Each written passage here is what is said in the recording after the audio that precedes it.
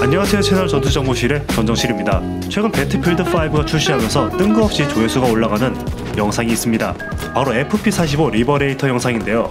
이 권총 형상의 무언가가 배틀필드5에 등장하면서 다시금 주목받고 있습니다. 이번 영상은 배틀필드5에 구현된 FP45 리버레이터가 얼마나 고증에 잘 맞춰졌는지 살펴보도록 하겠습니다.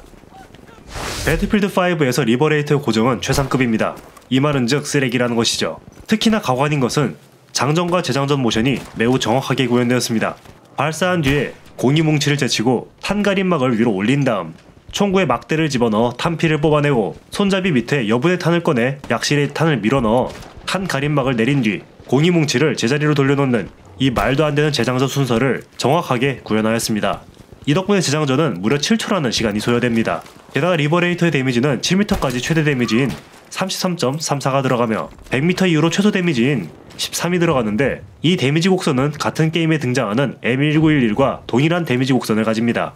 이 이유는 리버레이터와 M1911은 같은 45 ACP탄을 사용하기 때문이죠. 이런 쓸데없이 뛰어난 고증은 실제와 마찬가지로 게임에서도 막장스러운 성능을 자랑합니다.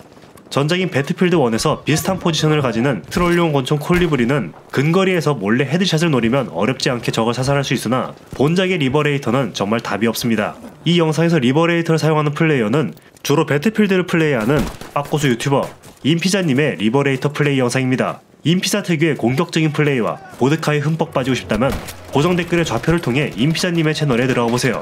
본 영상의 내용은 이것으로 마무리 짓겠습니다. 인피자님의 리버레이터 플레이 영상이 남아있으니 마저 시청해주세요. 시청해주셔서 대단히 고맙습니다.